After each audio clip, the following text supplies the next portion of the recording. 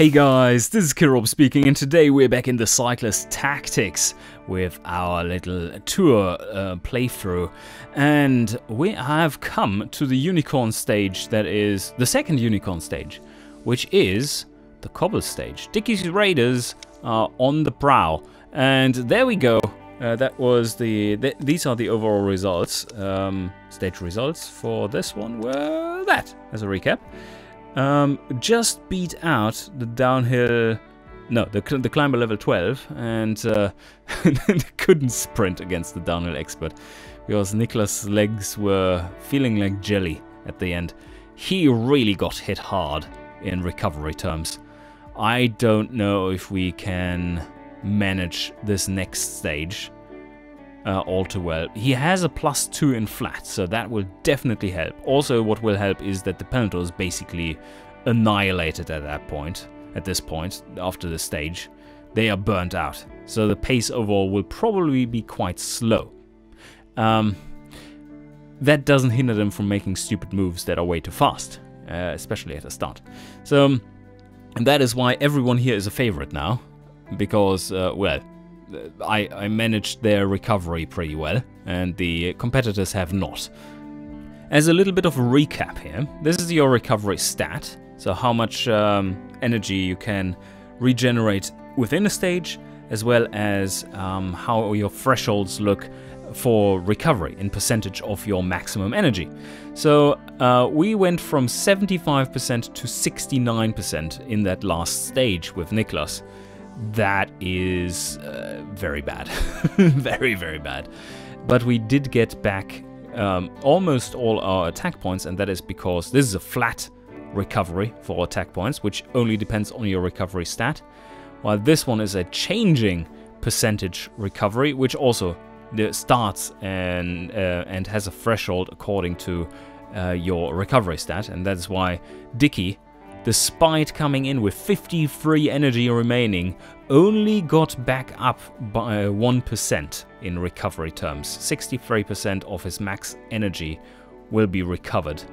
Um, yes, okay. Enzo is doing very well though. He recovered 2 points. He's not up to his maximum anymore, uh, or not yet. Uh, he might be at the end of this stage because he does have a flat level 1 as well. Very important, very important. We do have a decent helper here. We made sure that he is in good shape for helping out on this stage. Very important for Niklas specifically. We do need someone to... And Dicky, he's supposed to win this thing. Um, the only thing that is worrying here is that he has no attack points. But, that aside, let us jump into this new stage. Okay, flat stage, light cobble stage even. Let's go. Ordering seems to be good. Uh, I don't really care. This should be playable, playable pretty quick. There's not that much in our way. And and so here, all move back into the peloton. Dicky, yes, everyone back into the peloton. Only Mr. Helper is left up front in the rain alone. Yes, there's no rain yet, but it really looks like rain very soon. That move is slow. Do we want to allow them to move that slowly? I think we move to at least there.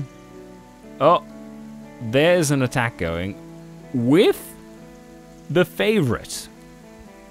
And there's the rain. Okay. Um, or the not the favorite, the um, the actual leader of the race. Downhill expert level 12. He moved last, though. Hmm, he might have just latched onto them. We shall see how he reacts. We're already starting to recover a bit of energy here. Um, so this is nice. We just sign that off. These guys all move back to P3, and this stage we just don't care about our helper rider. It's his job to make sure that all the others are regaining their strength or get just get to the end. For Nicholas, it will be a get to the end without too much hassle, if possible. Oh, okay, helper. So, um, they are there. 11 riders in this group. Downhill Expert is still at the bottom. That is to be expected, but it looks like he's not joining the relay there. Otherwise, he would have moved up one spot. Not too sure about that yet. We shall find out. Wow, this is pissing hard. Um, so we are moving at the front. Yes, Peloton is supposed to go there, but we can go a little bit further. Uh, I do want to make sure that we get a move on that gives us plenty of slipstream. Um, there's a zero bonus for this one. The next sector here is a mild technical sector, so we do want to jump it reasonably. Well, let's uh, just invest three energy. We want to put a bit of pressure on these escapees from the start. Not too much, just a little bit, so that they get, get powered out. That they don't get too comfortable. Oof, big move by the peloton. Uh, this was grabbed by Stage Racer 7. The, the points. Still playing on that same dev build as before. Uh, these will be made prettier and stuff, these tooltips, but they are already very handy in seeing what is going on. And uh, we will have some nicer UI for that in general. Also, just a general more UI that helps you see what the current race situation is, because that is currently severely lacking in this version. As you, if you have played the demo, which of course, down below, there's the link to the store page. Not only wishlist, of course, but also play the demo and see how it plays at the moment. Um, well, you can see how it plays here, right here, but also see for yourself how it plays. 5 energy move across the technical, that's something that Nicholas doesn't appreciate. Yeah, it cost him 3 energy to move there, and Enzo 3 energy, and Dicky 2. That was a pretty big move there. The next sector, again a technical section. Where's the first cobble sector? Oh, there it is. Through the forest. It's not Arenberg Forest, though. Um, that, that is fortunate. This is just a... Oh, what kind of sector is this? That looks like a two-star sector out of four. And that over here, in the end, that does look like a three-star sector. So this one will be tough. Oh, they've already lost two riders of the group in the first cobble sector. Is the peloton going to try and jump it all? Uh, this is a mild cobble sector, and this is a medium cobble sector. Okay, so one star, two star, but linked. Um, not nice, but yes, the peloton is so far not moving too hard. Let's see how Niklas is doing. Everyone is recovering a bit more energy there. Oh, big move. Ouch. Across the cobble sector, full bore. Uh, 20. They went 20 nodes. Uh, yeah, okay. Well, the helper is suffering. Let's see how much slipstream the others are getting. Should be fine to just use energy. Yeah, 6 energy. It still hurts though. That is a negative, negative 1 for the section. For that cobble sector. And yeah, he has plus 2 by default, right? That's a It's still flat. So he gets plus 2, minus 1 for this sector, minus 1 for his penalty. So that's a 2 minus 2, so 0, which is that number there. And then here it's a plus 2, so his skill in flat. Um, minus 2 for the sector strength, it's a 2 star. Minus an additional 1, so he gets a negative 1 there in total. So yeah, that's not great. Uh, 5 slipstream only. The slipstream is penalized uh, with the sector strength as well. If you're in a 1 star sector, that's minus 1. If you're in a 2 star sector, that's minus 2. Now, what the fuck is going on? They are powering through these sectors. That is nasty. That's another move of 21. Well, they sure are putting the, uh, the pressure on these escapees. They will be suffering up front. Maybe the yellow jersey that way really loses time. This is, by the way, super stupid. I'm aware of this, that the yellow jersey would attack like that. That makes no sense whatsoever. yeah, there, there is no actual AI for determining roles throughout a tour yet at this point. We're going to implement those pretty soon uh, to make some some smarter decisions about who's going to attack and so on. But yeah, it's a little funny to see that they are burning themselves out like this. Uh, yeah, we are in dire need of catching up to the relay, otherwise we can't hinder them from making really stupid slow moves. Uh, something like this, for instance. This is a stupid, stupid slow move. Because not only do we get one less uh, free movement, but also this one is free. It is free for me because I have a plus one and flat, of course, but uh, yeah, still. Oh, what do we see here? Oh, downhill expert level 12 has been dropped from the escapees. Oh, what a wonderful day. Um, yeah, Baroudeur level 12 in here is super dangerous. He might be able to just power through and take it. Um, but, yes, well, the Peloton is still making pretty strong moves. Trying to catch up with the escapees. Well, these guys are completely fucking dead. Look at this Stage Racer guy. Stage Racer level 10, 10 energy. Ouch, yeah, he also has a negative 1 in Cobble. So I really need to make sure with my helper that... Um, oh, was was he maybe in the escape group and got dropped? That could that could be the case. Yeah, that could be the case. Um, so I need to make sure that my helper stays up here and continues to pull if need be. Oh, and now we've left behind the yellow jersey guy because I made a catch-up move from from there to there. A little nasty by me. But uh, he should have had the option to catch up. I assume he's in rest mode and doesn't want to do any catch-ups anymore. Not even the Heinz one. Yeah. Um, so we have another cobble sector coming up. That's just a uh, one-star sector though, so it's not too bad. Okay, he has rejoined us, so that's nice. He's now on the wheel of Dicky McSpeck, so excellent, excellent slipstream there. The peloton is quite far behind at this point. I don't approve of this move because that will mean that we have another penalty next turn. So I'm going to invest another point of energy here, or oh, no, three points more of energy there, just to make it a bit more af affordable for Niklas the next turn.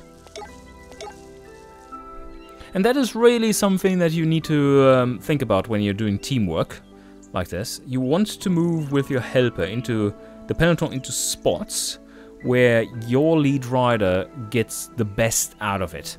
Um, so even if it's not optimal for the helper himself. And by the way, we have a really smart way of dealing with that for the AI. The AI actually does that already. So what they do is that the helper gets the calculated desirability heat map of the leader who he's helping. So he sees where his leader wants to move, not where he himself wants to move. So that's pretty cool. I'm getting a little worried about these guys though. They're still going strong.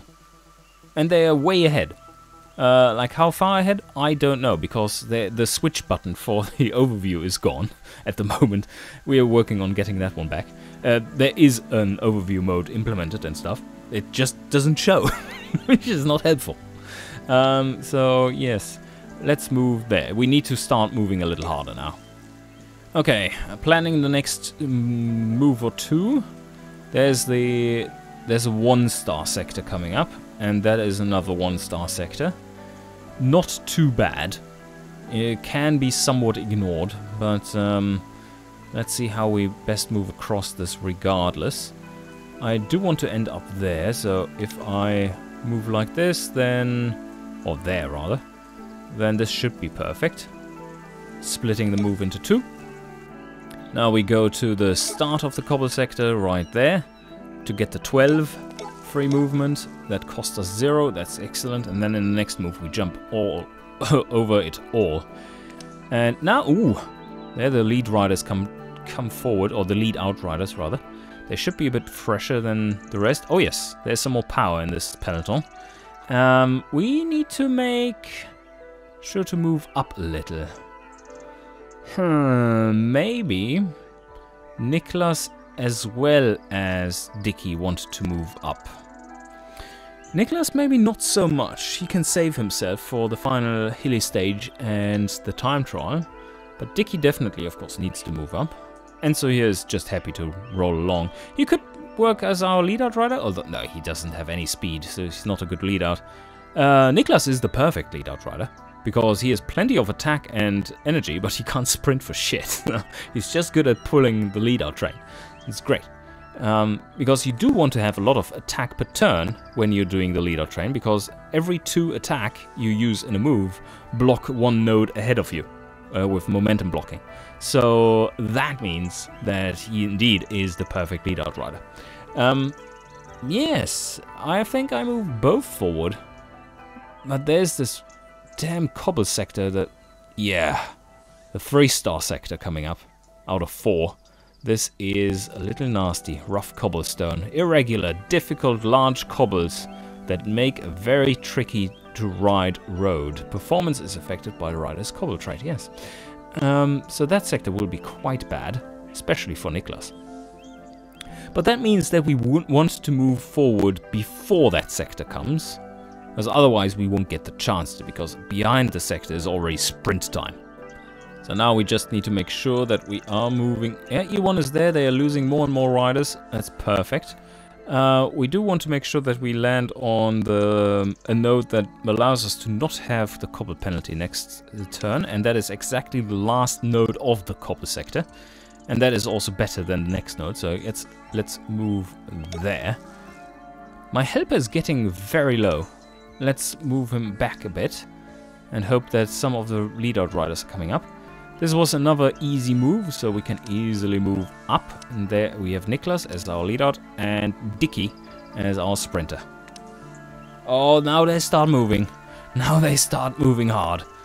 Yeah, that was a big move. Um, plenty of slipstream there. That's great. Let's see how bad it is for the for my other two riders who now are in P1. Three, okay. Oh shit, okay. My helper just got nuked. Um, Peloton wanted to move not there to but to there, which I can understand. That's a decent move to make. But I think my helper's just done for the day now. He just moves there. And we don't need him anymore because uh, now Niklas and Dicky are at the front and they can react to things that are happening. So yeah, let's move to here and hopefully survive the cobble sector. Let's go. Are you guys ready? Uh, let's let's see what happens. I think they're going to move across pretty hard, at least to there. Oh, E1 is getting nuked! E1 is getting nuked, they got stuck! They got stuck in the cobbles. They were not up for the task. Yes, okay, Peloton just over overran them. Like, hard. Uh, that is a big move for Nicholas. An 8-3. And Dicky, also an 8-3. You have zero in cobble. Ah, but just one, one in flat. Yeah, okay. Yeah, it comes out as the same. Yep. Is there anything else that is in the way? I don't think there is, right? So there is nothing, no. Absolutely nothing. Now it's just straightforward. Power through. Uh, Baroudeur level 10 is leading out, and holy shit, he's still strong. Yeah, he can power. He can proper, properly power through this. Rouleur level 8, that was the favorite to win. And look at his... Holy shit, he's still so strong. 69 in... Nice. Uh, 69 in energy and 18 attack. Yeah, he is the one to beat in this sprint. Um, and this situation is one of those where we will have an additional marker on screen to show you what the fuck is going on. Because uh, the Peloton's move turn is up, right? So, and we don't see anything here. Well, someone moved there, but they moved to actually there. Yes, which is off screen. And momentum blocked in front. That was a move that used six attack points. Yeah, okay, and he has more of that in him. oh man. I hope he does a proper lead out across the line. Um, the AI is still wonky in that, but uh, in the rain, beautiful. Let's uh, go, let's go, let's go. And Dicky, follow my wheel. This is your sprint. And uh, this is Enzo. Do you want to follow? Yeah, yeah, it's easy. Easy follow. But now we need to search for the correct wheel. Where is it? We have the climber. Was this guy? Yes. So I think we want to be on his wheel. So let's go there. Um, somewhere there. Yes, his wheel is attached. And it's Niklas. And now we take Dicky as well. Okay. Should be fine. And yes, there's the big move. There's the big move. Rouleur level 8 is currently at the front. This was our lead out. He moved decently far, and these momentum block nodes are from velocity of the main bunch sprint. So now no one can really pass anymore. This is impossible. Um, Oh, is it impossible? 25. This is blocking to 31. And that's from a 10 base movement. So that is a very, very harsh move. At this stage in the tour, it's unlikely that anyone still has that, unless they were playing really smart. So yes, we are in this situation. And now you will see... Oh, yes. There, there. He has added... Allrounder level 10 has added 2 velocity, and Rouleur level 8 has still added 1 extra. That's why more nodes are blocked. Um, so now, Niklas is... can still move, but he can only move to there. And of course he doesn't want to, because we don't want to spend any more attack. We don't care about um, the points here. They get the same time. We're in the same stack. So let's sign him off there. And now comes the Dicky.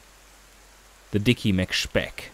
And he should get 12 points to spend. Because it's 8 he has.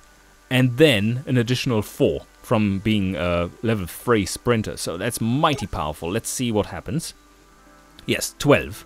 He has spent 0 so far because the move only took 8 energy. So we move 1, 2, 3. Then we have to overcome his velocity, which is 3. Boom, costs us 3 attack points. And then we have to overcome his velocity, which is 2. Now we're at 8. And now we say... Um... Do we have anyone else behind us? So now the real question should be, who's left? Like, who's left in here? And who's on my wheel? This is also something that we will have to display in the UI, really. Um, but, yes, what, what I'm wondering is how much attack do we need for the next stage? Do we get away with this situation here and only spend 8 out of 12. I'm not so sure. I don't think there were any big sprinters behind us. And I mean, Niklas has clogged up the, clogged up the system there with the train.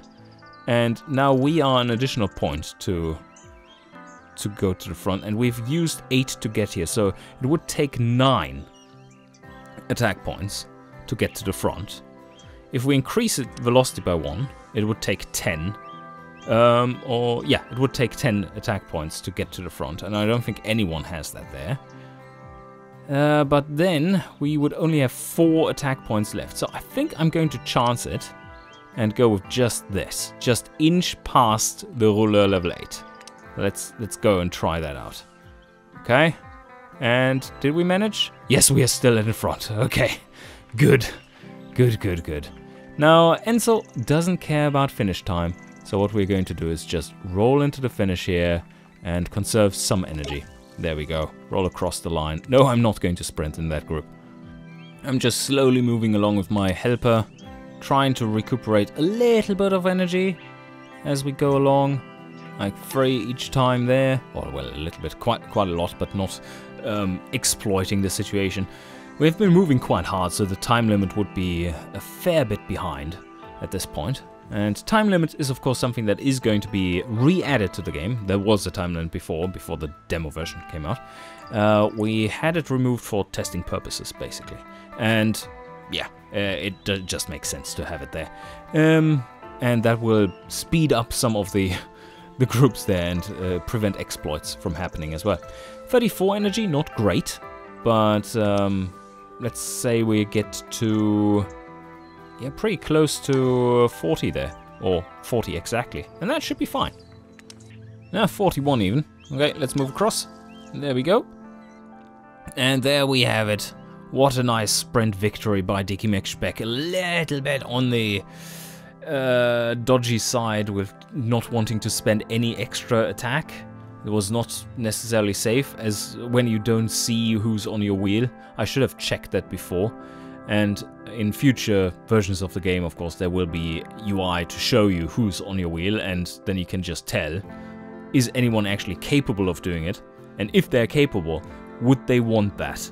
So, um, interesting there. But uh, this is looking excellent. Look at that. Now Niklas Svensson is actually two turns ahead of the next best rider. And uh, That poor little guy who went out in the escape group, the, the yellow jersey. That's a stupid thing to do. Uh, this, the tour AI really needs a revamp. No, not a revamp, an actual write first. Not a, not a rewrite, uh, right, because ju ju it just doesn't exist yet. So, um, yeah. Expected uh, outcome then, in that case, really. Niklas last in the group, everyone outsprinted him, which is not surprising. And we are now, at, after 96.11 turns into this tour, he is leading by two turns. Beautiful. Stage summary, please. And, oof. Oof, look at all these favorites. Their strength ratings are coming down, apart from this guy. He seems to be going really strong still. Um, let's take a look at recovery. Niklas lost a point but he recovered fully. So that's good. And he is up to 29 attack points now. So he is pretty well recovered overall. And he will be able to do well in this stage too. Um, so yeah, I think that's that's really it then for, for that. And he should be fit for the time trial then. There's, there's such a such a brutal time trial. He needs to really show his strength then. At that point, we need to be at max recovery of all the stats, because this one is going to take a lot of energy and a lot of attack. Like all the attack and a lot of his energy. So we do want to be at max energy just because that gives us the maximum um, energy per turn values as well. Don't forget that they decay as you lose energy. So yeah, this is looking very solid for what we have in mind for our plans. And oh, there you go. There you go. Dicky is actually leading in the green jersey now by one point. This is very spread out. Um, and that is because also there is no AI just yet for determining that, oh, I'm the designated sprinter of the team. I will try to grab those points. It's all just, yeah, whatever. Um, so yeah, that doesn't help. That, that doesn't make this more of a challenge, does it? But uh, I think so far it's showing nicely how the core systems work in the game, and then the AI, the tour AI being added, will take care of all that. And we are gaining a lot of points here. Right now, we are looking at a total score of 1,935 points if we hold these positions. We shall see about that, though. Um, we definitely have won the Climber's jersey, uh, because there's only one uh, third category climb left in the whole tour, so that was good. And yes, I think we are going to continue with this stage in a pretty long one. Um, a little bit of a punch there towards the end. We're going to uh, continue with that one in the uh, upcoming episode. So I hope you enjoyed and see you guys next time.